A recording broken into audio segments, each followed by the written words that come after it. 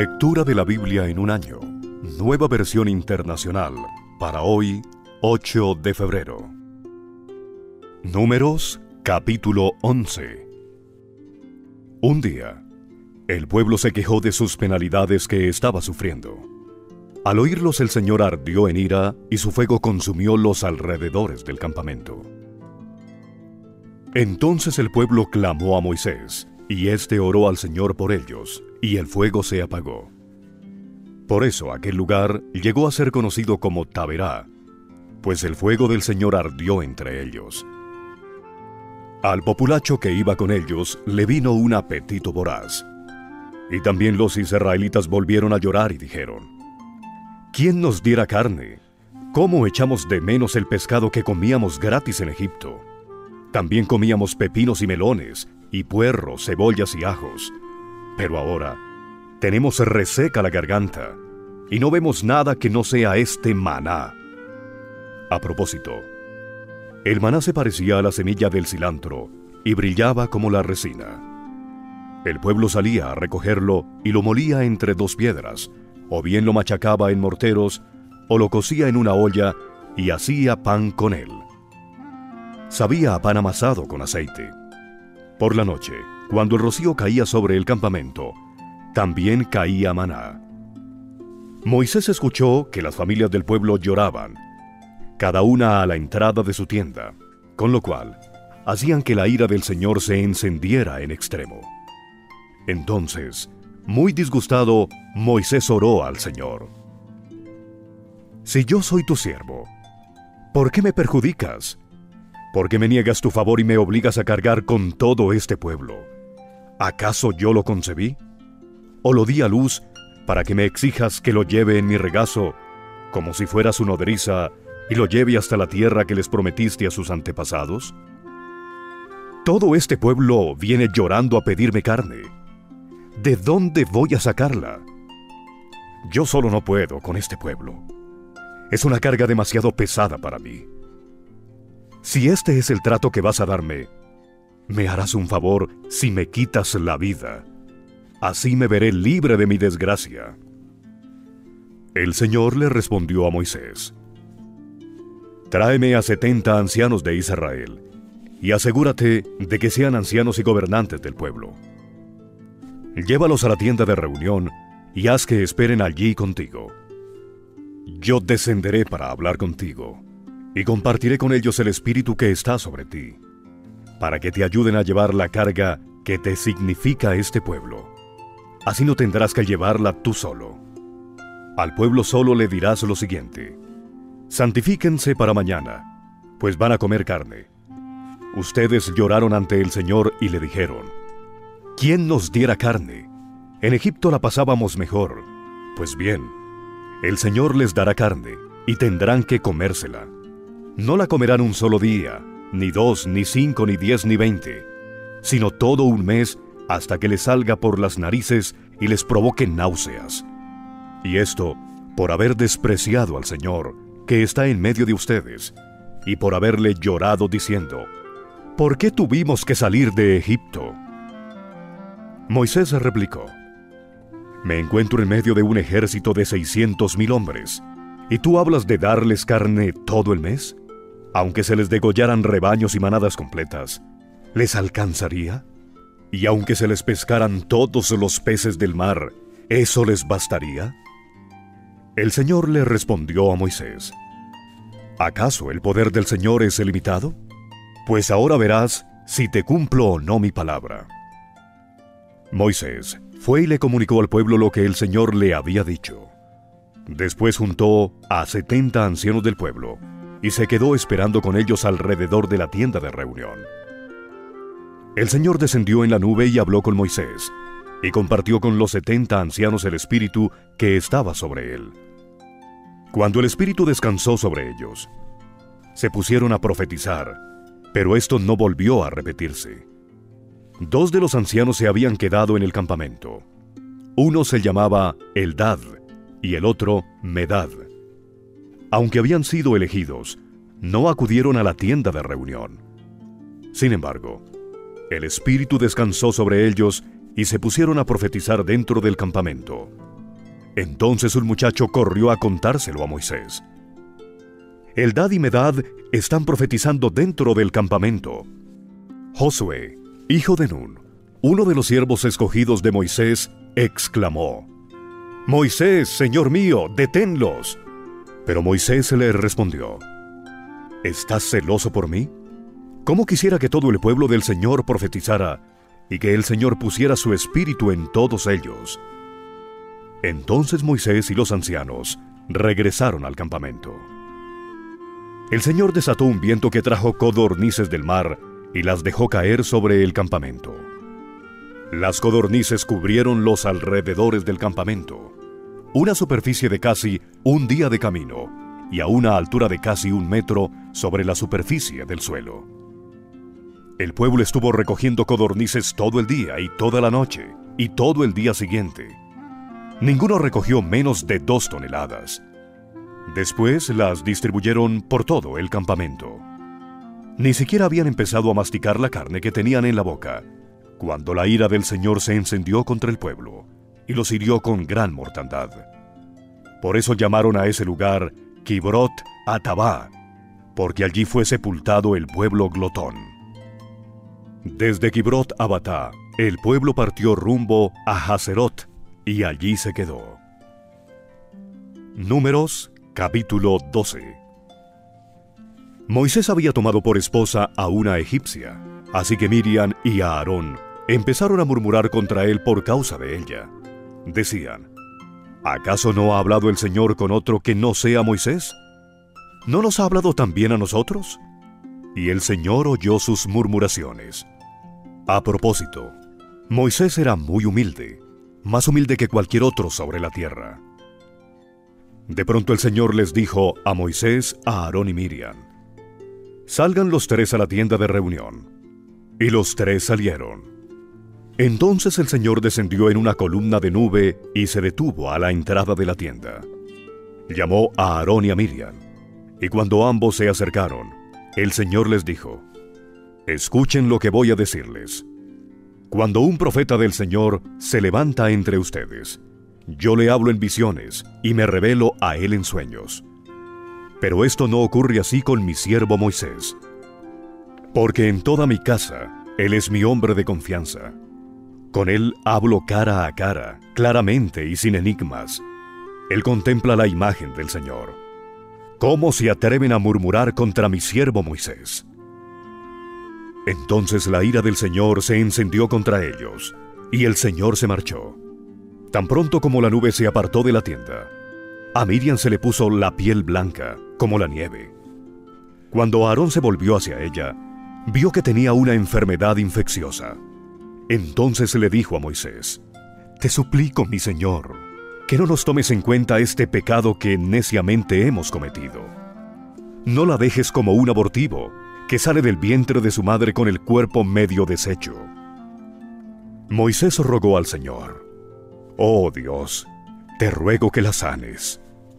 El Señor le respondió a Moisés, Si su padre le hubiera escupido el rostro, ¿no habría durado su humillación siete días? Que se le confine siete días fuera del campamento, y después de eso será readmitida. Así que Miriam quedó confinada siete días fuera del campamento. El pueblo no se puso en marcha hasta que ella se reintegró.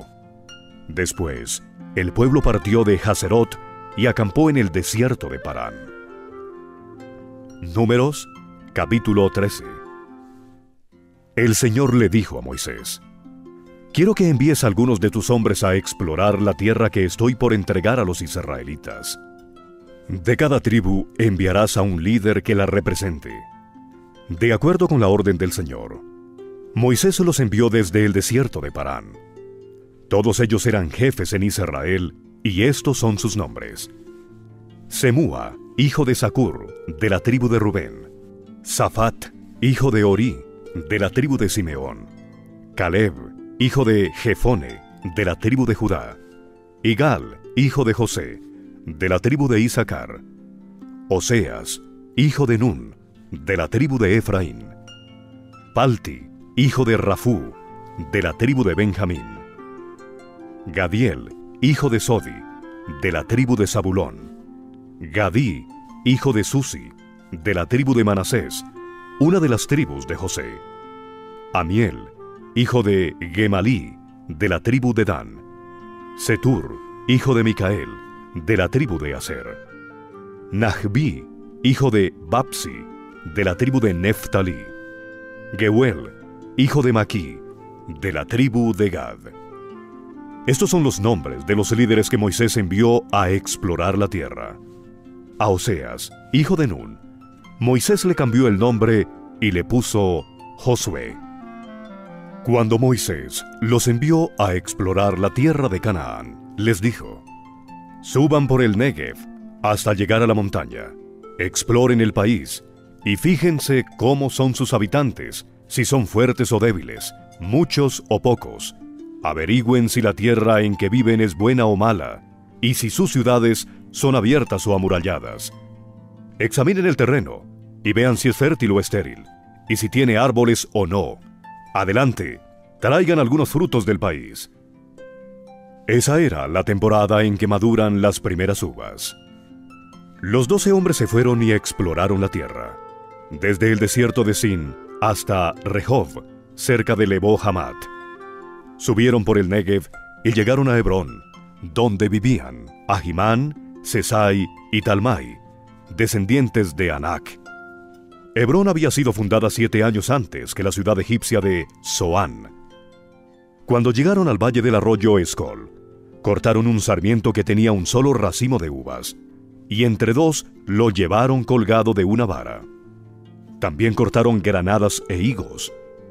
Por el racimo que estos israelitas cortaron, a ese lugar se le llamó Valle de Escol. Al cabo de 40 días los doce hombres se regresaron de explorar aquella tierra. Volvieron a Cádiz, en el desierto de Parán, que era donde estaban Moisés, Aarón y toda la comunidad israelita, y les presentaron a todos ellos un informe, y les mostraron los frutos de esa tierra. Este fue el informe. Fuimos al país al que nos enviaste, y por cierto que allí abundan la leche y la miel. Aquí pueden ver sus frutos, pero el pueblo que allí habita es poderoso, y sus ciudades son enormes y están fortificadas. Hasta vimos anaquitas allí. Los amalecitas habitan en el Negev, los hititas, jebuseos y amorreos viven en la montaña, y los cananeos ocupan la zona costera y la ribera del río Jordán. Caleb hizo callar al pueblo ante Moisés y dijo, Subamos a conquistar esa tierra. Estoy seguro de que podremos hacerlo. Pero los que habían ido con él respondieron, No podremos combatir contra esa gente. Son más fuertes que nosotros. Y comenzaron a esparcir entre los israelitas falsos rumores acerca de la tierra que habían explorado. Decían, La tierra que hemos explorado se traga a sus habitantes, y los hombres que allí vimos son enormes, hasta vimos anaquitas.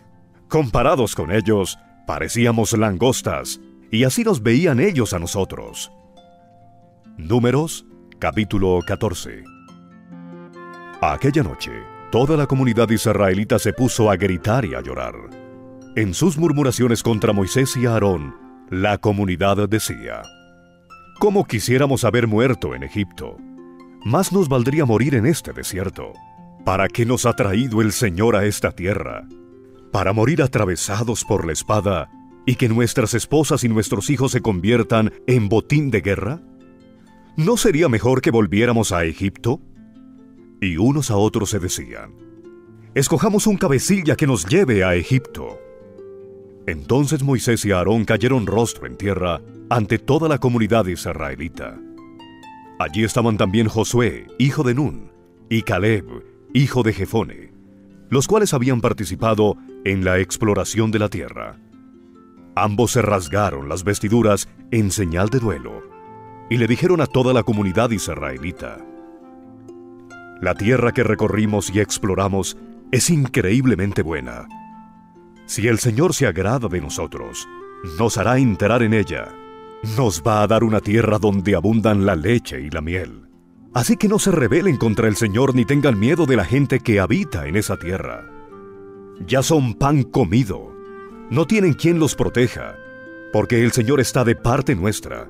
Así que, no les tengan miedo. Pero como toda la comunidad hablaba de apedrearlos, la gloria del Señor se manifestó en la tienda, frente a todos los israelitas. Entonces el Señor le dijo a Moisés, ¿Hasta cuándo esta gente me seguirá menospreciando? ¿Hasta cuándo se negarán a creer en mí, a pesar de todas las maravillas que he hecho entre ellos? Voy a enviarles una plaga que los destruya, pero de ti haré un pueblo más grande y fuerte que ellos. Moisés le argumentó al Señor. Recuerda que fuiste tú quien, con tu poder, sacaste de Egipto a este pueblo. Cuando los egipcios se enteraron de lo ocurrido, se lo contaron a los habitantes de este país, quienes ya saben que tú, Señor, estás en medio de este pueblo. También saben que a ti, Señor, se te ha visto cara a cara, que tu nube reposa sobre tu pueblo, y que eres tú quien los guía, de día con la columna de nube, y de noche con la columna de fuego. De manera que, si matas a todo este pueblo, las naciones que han oído hablar de tu fama dirán, el Señor no fue capaz de llevar a este pueblo a la tierra que juró darles, y acabó matándolos en el desierto. Ahora, Señor, deja sentir tu poder. Tú mismo has dicho que eres lento para la ira y grande en amor, y aunque perdonas la maldad y la rebeldía, jamás deja impune al culpable, sino que castigas la maldad de los padres en sus hijos, nietos, bisnietos y tataranietos por tu gran amor, te suplico que perdones la maldad de este pueblo, tal como lo has venido perdonando desde que salió de Egipto. El Señor le respondió, Me pides que los perdone y los perdono, pero juro por mí mismo y por mi gloria que llena toda la tierra, que aunque vieron mi gloria y las maravillas que hice en Egipto y en el desierto, ninguno de los que me desobedecieron y me pusieron a prueba repetidas veces, verá jamás la tierra que, bajo juramento, prometí dar a tus padres. Ninguno de los que me despreciaron la verá jamás. En cambio, a mi siervo Caleb, que ha mostrado una actitud diferente y me ha sido fiel, le daré posesión de la tierra que exploró, y su descendencia la heredará. Pero regresen mañana al desierto por la ruta del Mar Rojo, puesto que los amalecitas y los cananeos viven en el valle. El Señor le dijo a Moisés y a Aarón, ¿Hasta cuándo ha de murmurar contra mí esta perversa comunidad? Ya he escuchado cómo se quejan contra mí los israelitas. Así que diles de parte mía, juro por mí mismo, que haré que se les cumplan sus deseos. Los cadáveres de todos ustedes quedarán tirados en el desierto Ninguno de los censados mayores de 20 años que murmuraron contra mí tomará posesión de la tierra que les prometí. Solo entrarán en ella Caleb, hijo de Jefone, y Josué, hijo de Nun. También entrarán en la tierra los niños que ustedes dijeron que serían botín de guerra, y serán ellos los que gocen de la tierra que ustedes rechazaron. Pero los cadáveres de todos ustedes quedarán tirados en este desierto durante cuarenta años los hijos de ustedes andarán errantes por el desierto. Cargarán con esta infidelidad hasta que el último de ustedes caiga muerto en el desierto. La exploración del país duró cuarenta días, así que ustedes sufrirán un año por cada día. Cuarenta años llevarán a cuesta su maldad, y sabrán lo que es tenerme por enemigo. Yo soy el Señor y cumpliré al pie de la letra todo lo que anuncié contra esta perversa comunidad que se atrevió a desafiarme. En este desierto perecerán, morirán aquí mismo. Los hombres que Moisés había enviado a explorar el país fueron los que, al volver, difundieron la falsa información de que la tierra era mala. Con esto hicieron que toda la comunidad murmurara. Por eso los responsables de haber difundido este falso informe acerca de aquella tierra murieron delante del Señor, víctimas de una plaga. De todos los hombres que fueron a explorar el país, solo sobrevivieron Josué, hijo de Nun, y Caleb, hijo de Jefone. Cuando Moisés terminó de decirles esto, Todos los israelitas se pusieron a llorar amargamente. Al otro día, muy de mañana, el pueblo empezó a subir a la parte alta de la zona montañosa, diciendo, Subamos al lugar que el Señor nos ha prometido, pues reconocemos que hemos pecado. Pero Moisés les dijo, ¿Por qué han vuelto a desobedecer la orden del Señor? Esto no les va a dar resultado. Si suben, los derrotarán sus enemigos, porque el Señor no está entre ustedes. Tendrán que enfrentarse a los amalecitas y a los cananeos, que los matarán a filo de espada. Como ustedes se han alejado del Señor, Él no los ayudará. Pero ellos se empecinaron en subir a la zona montañosa, a pesar de que ni Moisés ni el arca del pacto del Señor salieron del campamento. Entonces los amalecitas y los cananeos que vivían en esa zona descendieron y los derrotaron, haciéndolos retroceder hasta Jormá.